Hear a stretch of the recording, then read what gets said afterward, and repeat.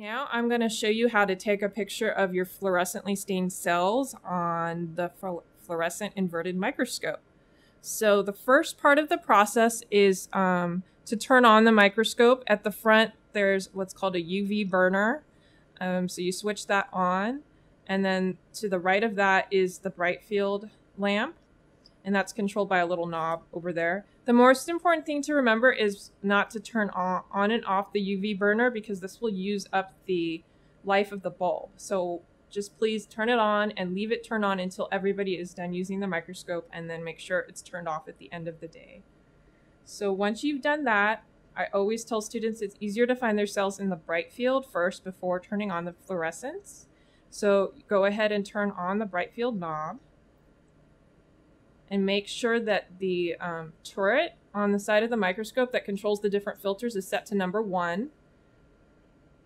And then you just go ahead and find your cells in the microscope. Once you have a pretty good focus on your cells and they're clear, you can turn off the, turn off the bright field.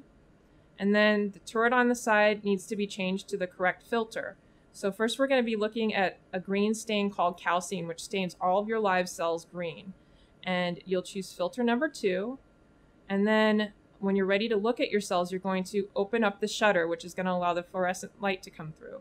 If you don't see any anything, check the shutter. It could be that you haven't opened it yet. You should see some light shining through. And then again, you're going to want to find your cells in the microscope first and focus on them clearly. Make sure the knob at the front is turned um, all the way to the eye little picture so that all the light is coming through the microscope. If you switch it over to this the um, the other little picture is a camera, that means all the light goes through the camera and you won't be able to see anything in the microscope.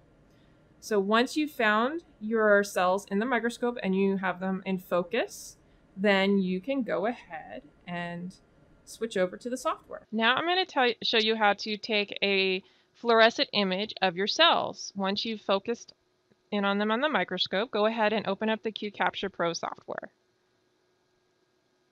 And click Preview.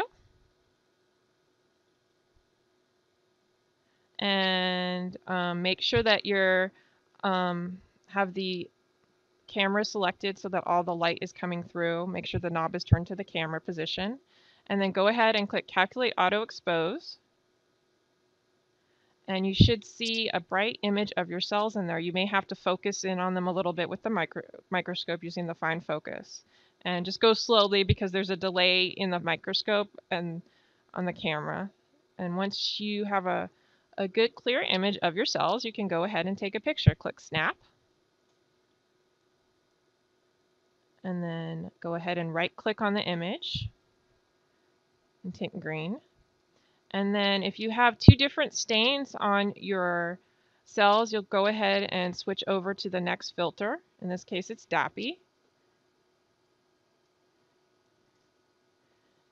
And again, you would do the same steps, calculate auto expose. And if your image looks clear, then you can go ahead and take another picture of your image.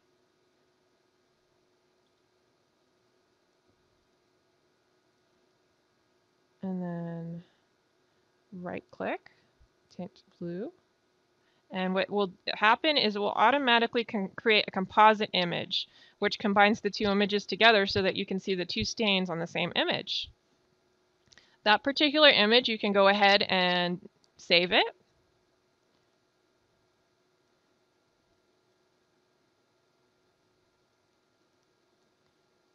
And just save it in a, a folder on the desktop give it a name that you'll remember so you can go back and and um, pick it up later if needed.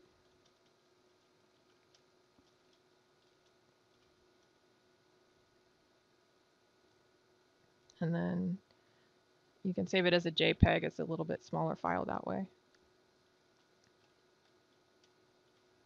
And then just click Save. And then if you want to save the individual images separate from the composite image, there's an extra step to do. You go to Edit, Convert to RGB 24,